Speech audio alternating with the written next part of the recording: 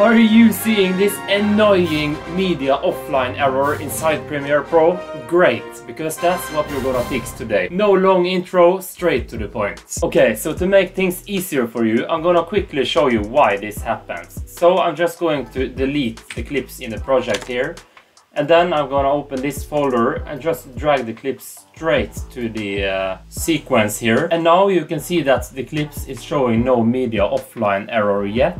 However, if we rename the folder containing the clips here and add the number 2 to the name like this, and then we scrub through the clips here in the sequence, you'll get this link media window popping up here telling you that it's missing media for these clips, which is all the clips in our sequence.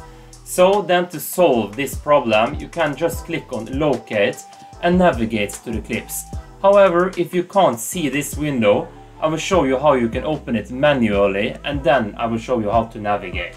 So I'm gonna close this window here and if we scrub in the clip here, we can see that we have the media offline error. Now go ahead and select the clips in the project window here.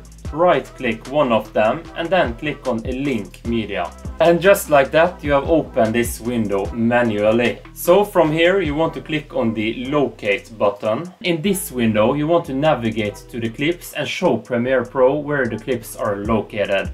An easy way to do this is to simply copy the name of the clip here like this, right click it and then click on copy. Next you want to select the drive where the clips are stored and then you click on this search bar here, right click and click on paste. Then click on search and voila, here is our clips. So doing it like this, you don't have to navigate through all the folders manually. Now just click on the clip here and then click on OK. And now we are relinked all the clips in the sequence and we can't see the media offline error anymore. Give the video a thumbs up if you found it helpful and thanks for watching.